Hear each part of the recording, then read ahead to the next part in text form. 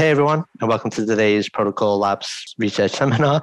Uh, today we are joined by Dr. Jeff Tsao, uh, who is a senior scientist at Sandia National Laboratories. Uh, his career spans research in a number of different areas, including laser microchemistry, semiconductor epitaxy, solid state lighting, and most recently, meta research. Uh, Jeff has been associated with some major institutions, which include Stanford University, Harvard University, MIT Lincoln Laboratory, the Institution of Materials Research and Engineering in Singapore, E2O Communications, and of course, most recently, the Sandia National Laboratories. He's also most recently a co-author with Venkatesh Narayanamurti, who is also joining us, and I hope I got your name right. Um, and they both co- co-authored the new book called The Genesis of Techno-Scientific Revolutions, The Nature and Nurture of Research. Um, today, Jeff will be talking to us about that subject of the nature and nurturing of research and modern synthesis. So now I'm just going to hand the floor over to Jeff and let you take it away. Thank you, Liam. And good afternoon or good morning, everybody, depending on what time zone you're in, I guess. and thank you all for the invitation to give this talk. I'm pretty excited uh, about it. Um, this talk will be mostly an overview of the book uh, that came out about half a year ago, uh, co authored, as Liam said, with Venki Narayanamurti, uh, Genesis of Techno-Scientific Revolutions, Rethinking the Nature and Nurture of Research. Um, the overarching theme of the book is that research is fragile uh, and must be nurtured for it to achieve its full potential. But that effective nurturing of research requires that the nurturing be aligned with, hence requires an understanding of the nature of research. So the first three chapters of the book are on the nature of research, each chapter correcting a belief about the nature of research that is widespread but mistaken. Hence, that leads in many situations to a misnurturing rather than a nurturing of research. Then the fourth chapter is on how to nurture research in such a way as to be aligned with the corrections to those mistaken beliefs about the, about the nature of research. So I'll run through in this talk each of these chapters, one slide each. Uh, I tend to talk a lot about on each slide, so you know I'm going to fill up the, the slide for sure. Uh, followed by a final slide uh, on a topic five that was not covered in, but is a natural follow-on to the book. That topic is how to nurture research organizations that in turn are equipped to nurture research so that we might enable Bell Labs 2.0s, research labs like the iconic Bell Labs 1.0, but with a modern understanding of how to bring them about. Before I dive in to slides one through five, uh, let me give sort of an ultra brief preview, uh, starting with three widespread yet mistaken beliefs about the nature of research. Um, the first widespread yet mistaken belief up here, number one, is that technology is subservient to and follows from science, and thus that the advance of science is the pace setter of the advance of technology. When one believes this, one tends to stovepipe science away from engineering and to think of engineering as without opportunities for research of its own. Instead, both engineering and scientific research are important, and both feed off of each other in what Venki and I call cycles of invention and discovery, and that are equal parts of what we call the technoscientific method.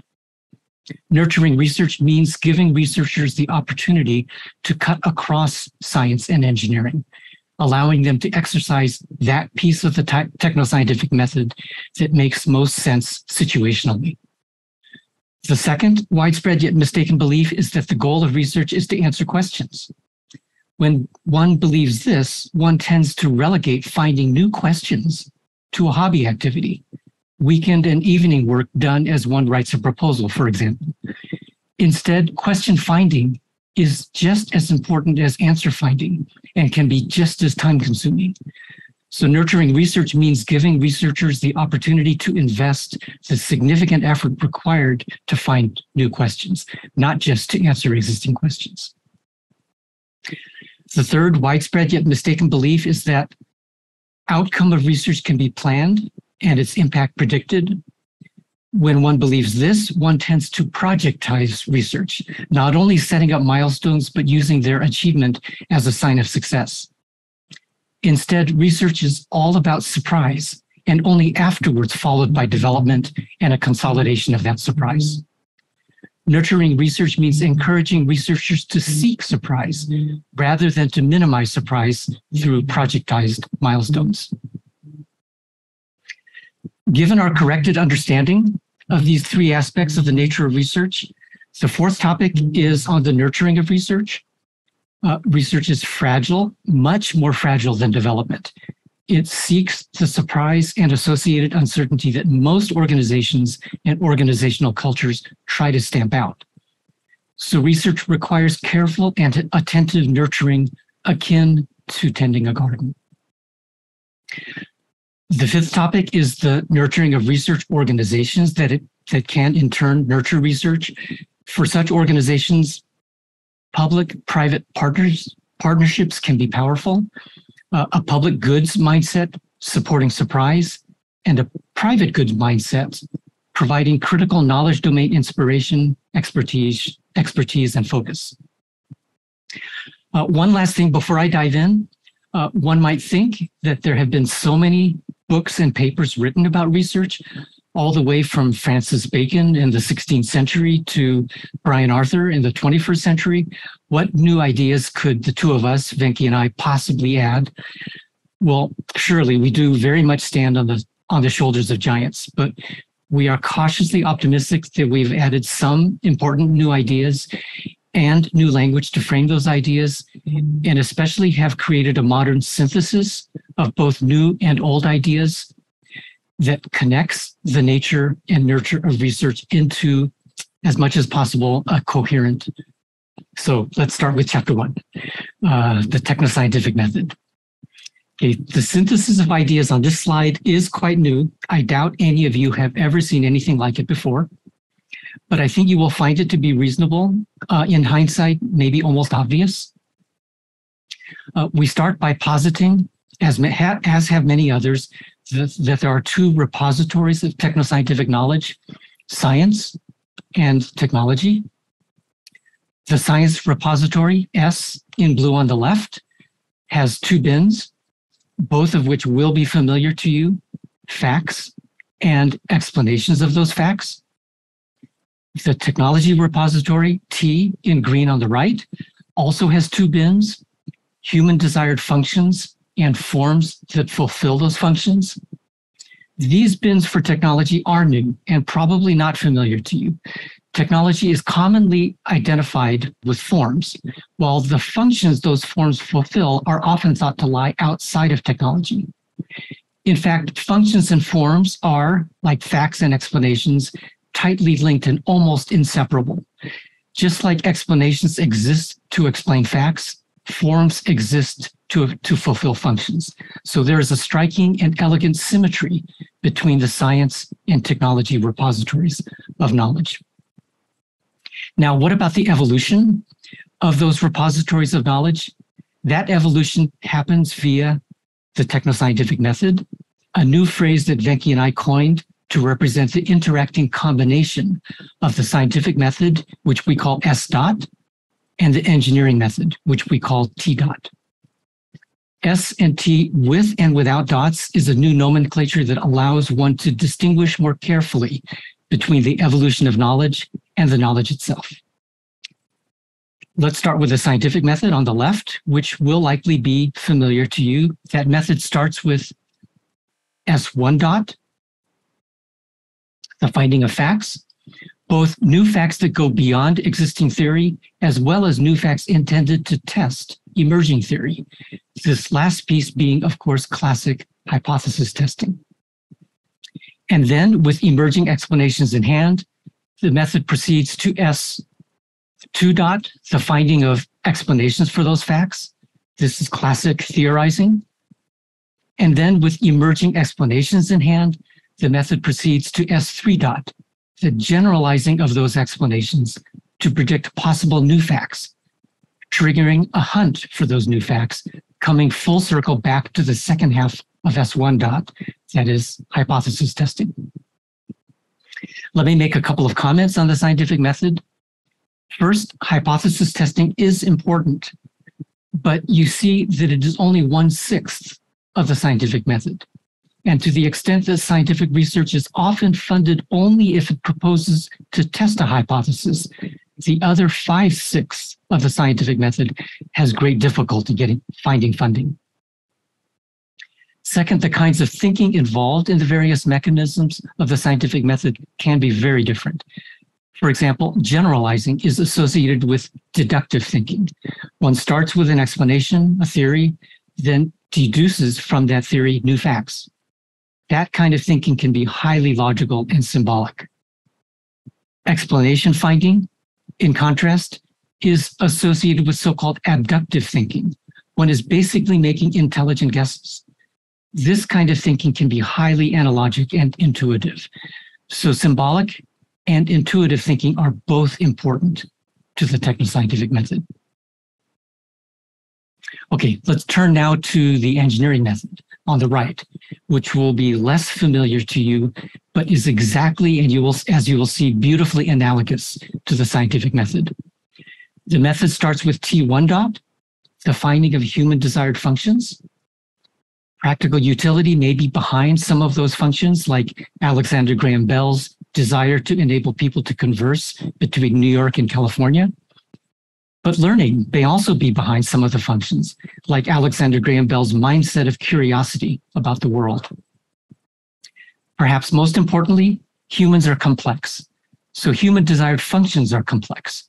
In fact, this red dot at the top is meant to emphasize that human desired human, human desired function ultimately comes from outside of technoscience. It comes from human culture, from the values and norms of human culture.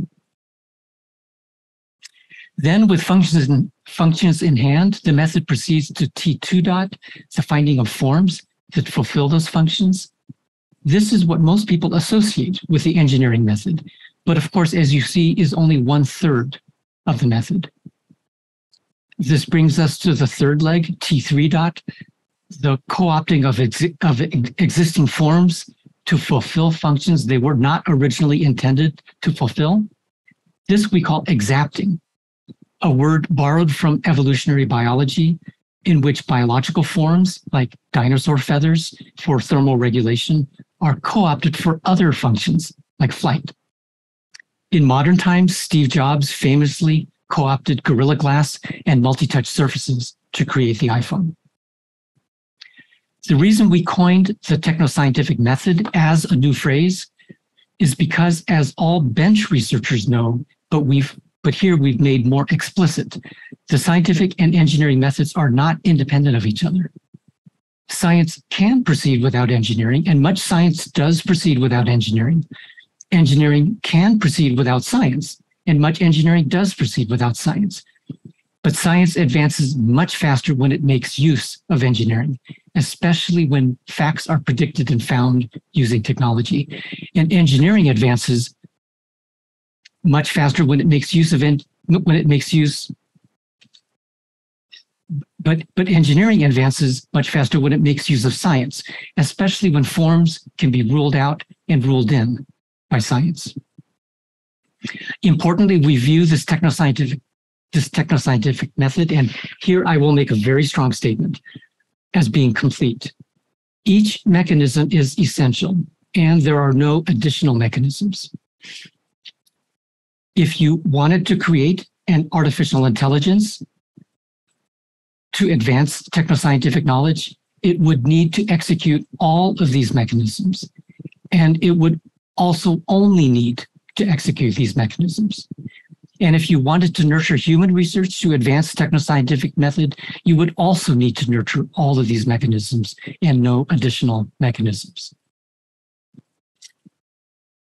Okay, so now let's turn to chapter two, uh, questions, and, question and answer finding. Uh, the overarching idea here is that the facts and explanations of science and the functions and forms of technology are nested and loosely hierarchical. At any level of the science hierarchy on the left, there are facts. Those facts can be thought of as questions, looking for answers as explanations for those facts. But those answers, those explanations can be thought of themselves as questions looking for deeper answers, deeper explanations, uh, deeper explanations for those explanations. The refraction of light is an observed fact at one level, explained by Snell's law at one level below, and in turn explained at a deeper level by the wave theories of Huygens and Fresnel, and then at an even deeper level by Maxwell's equations. On a larger scale, cell biology presents questions that seek answers, or at least partial answers, one level more foundational in molecular biology. And these answers are in turn questions that seek partial answers, one level more foundational still in chemistry.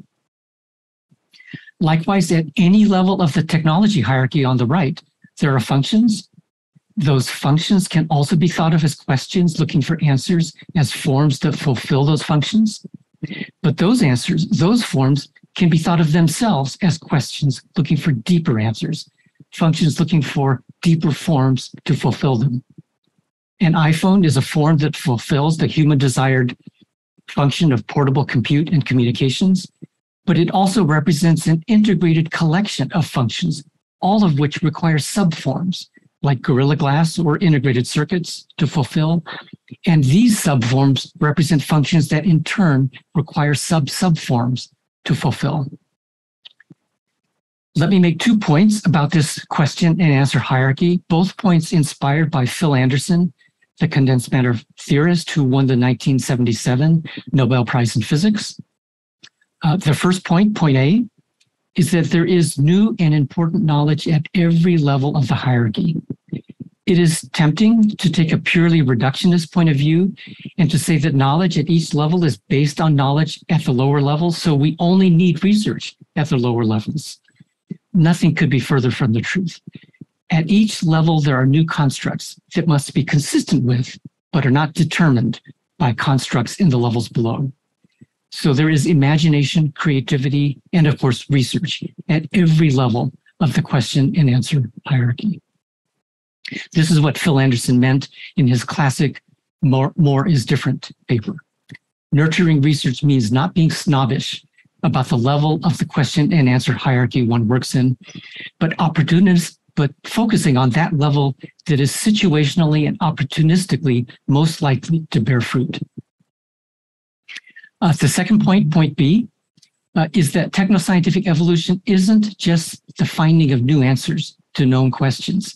It is the finding of new questions to answers that originally answered other questions. In science, this is, as we as we mentioned before, generalizing. Like when special, like when special relativity, the answer to the, to the question of why is the speed of light constant is found to answer a completely different and unexpected question of why there is energy release upon fission and fusion. In technology, this is exapting when the laser, originally thought to be an improved way to do spectroscopy, is found to be an improved way to do communications. Indeed, it is this constant generalizing and exapting with new question and answer pairs being linked across knowledge domains that creates what Phil Anderson called the seamless web of knowledge, in which each link provides strength to the entire web and the entire web provides strength to each link. That said, although both question and answer finding are important, in our current environment, answer finding is much easier to find funding for. Only after one has found a question and one can write a proposal to find an answer to that question can one usually find funding.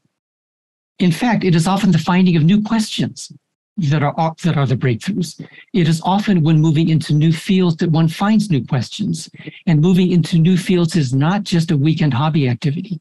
It is an activity that require, requires enormous time and energy in and of itself. So nurturing research means allowing for the finding of new questions, as well as the finding of answers to those questions. Finally, before leaving this slide, let me mention that finding questions and answers are often done independently. One has a question and seeks an answer to that question, or one has an answer and seeks a new question that could make use of that answer but they are also sometimes done simultaneously and interdependently. You have an idea for a new light bulb that answers the question of how to better light the indoors. but you realize that that will require centralized production, then distribution of electricity to the home, which becomes a whole new question that must be answered. We can think of this as find as the co-finding of questions and answers. There isn't time to discuss this in detail, so I'll just mention that this might also be called co-design in the next adjacent possible and has been responsible for many technoscientific breakthroughs, including the iPhone itself. Let's now turn to chapter three, uh, surprise and consolidation. Um, we think of the evolution of knowledge as proceeding in a manner similar to the evolution of species in biology. As depicted in the diagram on the left, there are long periods of extension and consolidation of knowledge represented by these vertical bars that thicken as existing facts and explanations, existing functions and forms are extended and consolidated. Then every once in a while, these periods of consolidation are punctuated by surprise. Some new question or answer contradicts or goes beyond common wisdom and creates a brand new vertical bar that then undergoes its own thickening as the new question or answer consolidates into a common wisdom. To put more common names to this punctuated equilibrium, we think of extension and consolidation of, exi- of existing knowledge as the outcome of development. And we think of surprise to existing knowledge as the outcome of research. Importantly, research and development both cut across S dot and T dot. There is both scientific research and scientific development. Just there is bo- just as there is both engineering research and engineering development. But as we know, research is often conflated with science, and development is often conflated with engineering, with two unfortunate consequences. First, we underfund engineering research because we think there is only engineering development. Second, we underfund scientific research because we think by funding scientific advance, we are automatically funding scientific research, when in fact we are often instead funding scientific development. I do also want to make one level more concrete what we mean by surprise versus consolidation, uh, illustrated in these two diagrams on the right. Um, imagine you've come up with a possible new nugget of knowledge. It could be a scientific nugget, it could be a technolo- technological nugget. Imagine that the common wisdom of experts made guesses as to whether that possible n- new nugget of knowledge is likely to be useful. Their guesses might form a prior probability distribution over utility, like this one in red at the left. Now imagine that that possible new, new nugget of knowledge has been played out. Uh, so now you know whether it's useful or not. Now you have a posterior probability distribution over utility, like the one in blue. The blue distribution is narrower. The uncertainty in the usefulness of the nugget of knowledge has been reduced. The blue distribution has also is also shifted. The usefulness of the nugget in this particular case is much greater than was than was originally thought. So common wisdom has been surprised. There are four possible permutations for how these prior and possible and, and posterior probability distributions might line up, uh, illustrated on the right. Uh, in permutation one, prior common wisdom thought the possible nugget of knowledge would be useful, and indeed it was useful. Belief was confirmed. In permutation two, prior common wisdom thought the possible nugget of knowledge wouldn't be useful, and indeed it wasn't useful. Disbelief was confirmed. In permutation three, prior common wisdom thought the possible nugget of knowledge would be useful, but instead it wasn't useful. Belief was disconfirmed. In permutation four, prior common wisdom thought the possible nugget of knowledge wouldn't be useful, but instead it was useful. Disbelief was disconfirmed. Now you can guess what we mean by surprise versus consolidation and by research versus development. For permutations one and two, the nugget of knowledge was compatible with common wisdom. So common wisdom didn't need restructuring and indeed was strengthened. This is what we call consolidation and is what we associate with development with development and consolidation. funders can much more easily anticipate and take advantage of what one finds as private goods, hence for funders to take the risk of funding the work. For permutations three and four, the nugget of knowledge was incompatible with common wisdom. So common wisdom needs restructuring in some way, possibly a profound way. This is what we call surprise and is what we associate with research. With research and surprise, funders can't anticipate what you will find. And even more so, cannot anticipate the impact of what you will find. The impact of what you will find is just as likely, actually overwhelmingly more likely to have impact beyond the, ins- the institution that funds your work than to the institution that funds your work. Thus, research overwhelming, overwhelmingly produces public goods and suffers and suffers from the usual problem that public goods have. They will be underfunded. The last three slides were all about the three aspects of the nature, about three aspects of the nature of research. Uh, let's now turn to the nurturing of research what should the characteristics of a research of a research organization be to optimally nurture research in a manner consistent with the nature of research? Uh, I've divided these characteristics into three bins, A, B, and C that you see here, and we'll walk through each of these bins in turn. Uh, but overarching all three bins is the notion that research is fragile much more fragile than development. So research requires careful and attentive nurturing and is very much like tending a garden with fragile but unique, unique and beautiful plants while also carefully uprooting the weeds. Let's start with bin A, the nurturing of individual researchers with care and accountability throughout their career life cycle.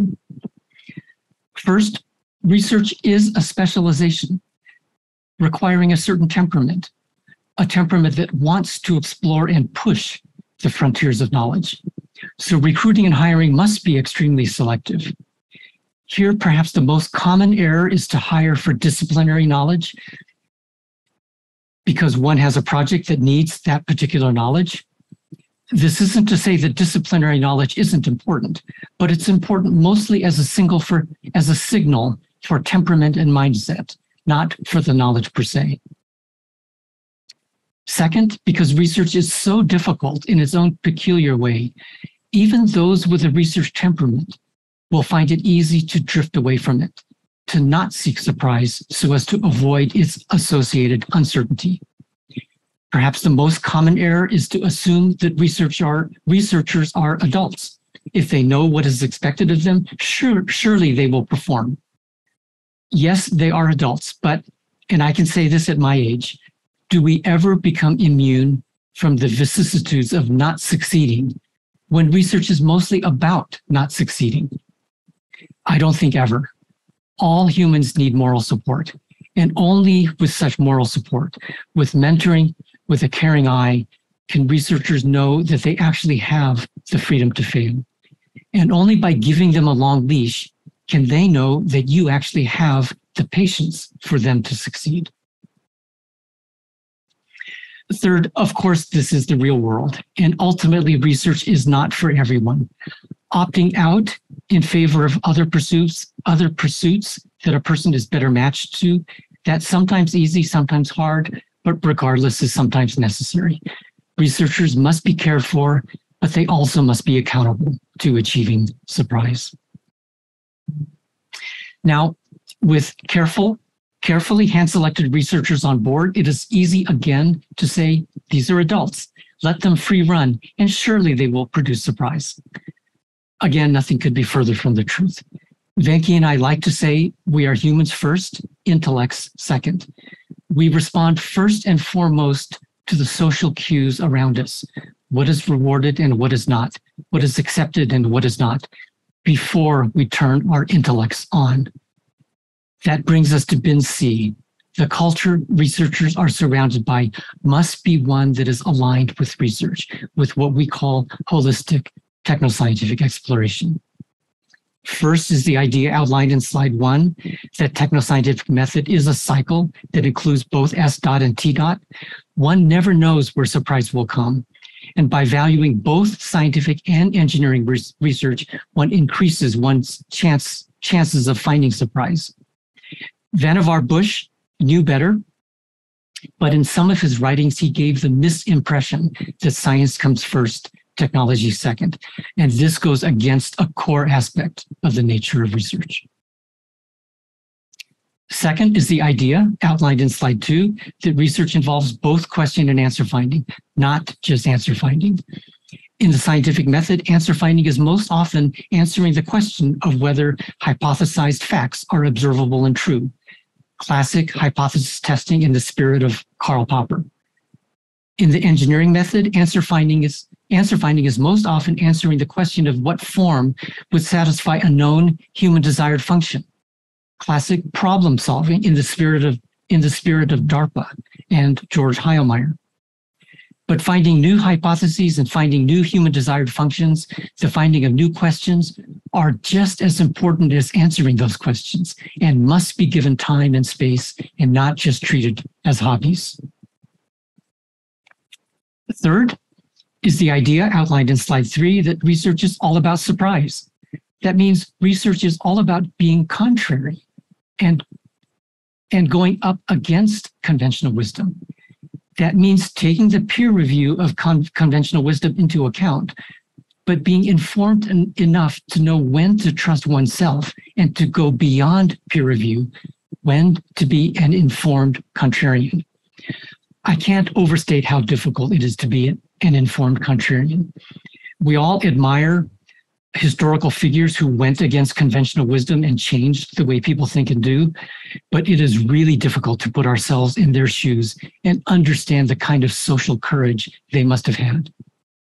This is why Venki and I also often say insulate, but don't isolate research from development. Development is about consolidation of knowledge. It's about seeing how far one can take the current knowledge paradigm. It's not about being contrary and overturning the overturning the current knowledge paradigm. So research and development, although they feed on and shouldn't be isolated from each other, must be insulated from each other, shouldn't be isolated from each other intellectually, must be insulated from each other cult- culturally. They must be in different organizations, each different organizations, each with its own culture, in order for them both to thrive. Finally, bin C is about the importance of research leadership. Again, it's easy to say researchers are adults, just let them free run. Surely they will come up with great things. Again, nothing could be further from the truth. First, research requires collisions between ideas in different, but not too different, knowledge spaces. It requires a critical mass of researchers in those knowledge spaces, and building such critical mass doesn't just happen by itself. It requires leadership with technical and people wisdom and vision. Second, research requires leadership to be empowered and to have the resources to hire and build capability. In other words, resources must be allocated from the top down. Instead, in many research organizations, resources are matrixed in from the bottom up via individual researchers winning external proposals with research leadership ending up being little more than a tax on the projects that result from those proposals. The result is often a hodgepodge of research without coherence or critical mass. Third, research requires leadership that is, of course, relentlessly focused on A, nurturing with care and accountability, and on B, building and maintaining a culture of research. So what we've discussed just now is how a research organization can best nurture research. But research organizations themselves don't just magically appear. They themselves need to be nurtured. It is not sufficient for an organization to want to do research, to want to produce the public goods that first and foremost benefit humanity and only secondarily benefit the parent organization. Uh, my sense in talking with Liam earlier, uh, before we started the seminar, is that Protocol Labs is an organization that wants to produce public goods that benefit humanity, but that that is not easy for, for an organization to do. Uh, Alexander Graham Bell, the founder of AT&T, would famously invoke advancing knowledge as fulfilling a larger national national calling to improve all of human society. But even AT&T, with its iconic Bell Labs, we'll, we'll call it Bell Labs 1.0, would not have been able to do research without a public service source of revenue. For AT&T, this revenue was essentially the monopoly profits it earned as a result of the 1913 Kingsbury Commitment, in which AT&T became a regulated monopoly in exchange for ensuring interconnection of local carriers to its long-distance network. When these monopoly profits went away in 1984, due to the breakup of, of AT&T, Bell Labs began to die as a research organization, despite its researchers trying to maintain their culture of research. And Bell Labs was not alone. In the late 20th century, all of the great industrial research labs, including GE Research, IBM Research Labs, Xerox PARC, suffered, not necessarily because they lost monopoly power, but be, but just because the Wall Street pressures of short-term and private return on investment on invested capital became more and more pronounced everywhere in the economy. And I want to emphasize this is not necessarily a bad thing. It was Wall Street's single minded focus on such returns that helped US corporations become among the most competitive in the world. It just means that research as a public good must be nurtured separately not by Wall Street. How might we do that? Here on the right, I sketch one possibility, one way to nurture research organizations in a way that would be aligned with how, as outlined on the previous slide, research organizations might best nurture research. Let's call these Bell Labs 2.0s. You can see that there are two sides to how these Bell Labs 2.0s could be nurtured, one private, one public in a public private partnership. At the bottom is a private goods funder, a parent corporation that sees a need for the private goods utility that research can provide, even if it knows that because the greatest benefit of research is not private, it cannot afford to support such research on its own. But it is willing to put up matching dollars for such research. It is willing to manage the research it's and most importantly, it is willing to put its knowledge to work on behalf of research, its expertise, its expertise, its problem-rich environment, and a focus which translates to building appropriate critical mass in a right-sized knowledge domain. When we said on the last slide, insulate but don't isolate research from development, this is what we meant. Research must be its own organization with its own culture. So these Bell Labs 2.0s 2.0s must be organization, organizationally separate from the parent company. But research must not be isolated intellectually and, and infrastructurally from development because there is so much opportunity for synergy between the two. At the top is a public goods funder, an organization that wants to fund public goods and only needs to see public, not private, return on its investment this is uniquely only phil- philanthropy or government agencies. But importantly, not all philanthropies and not all government agencies. Many philanthropies have a narrow mission to cure cancer, for example, and are less motivated to fund research that would spill over well beyond curing cancer. It might not even have any impact on curing cancer. And many government agencies have a narrow mission and are less motivated to fund research that would spill over beyond that narrow mission. Perhaps most importantly, some mechanism must be put in place for the funding to be awarded competitively. Research is not a free lunch, cannot be a free lunch. A Bell Labs 2.0 that wins a competition, for example, for public goods funding, must show after some period of time that it is producing surprise. Otherwise, it mustn't be renewed.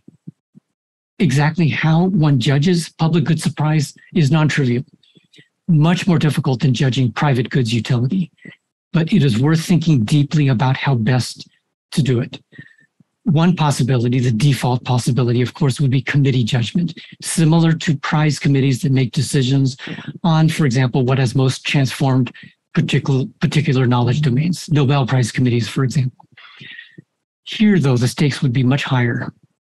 We would be talking tens and hundreds of millions of dollars as opposed to just one millions of dollars. So, of course, so so conflicts of interest and politics could be difficult to avoid, but at least there is some existence proof for how it might be done. Another possibility is decentralized quadratic financing, a method that I think some folks at Protocol Labs uh, might be exploring.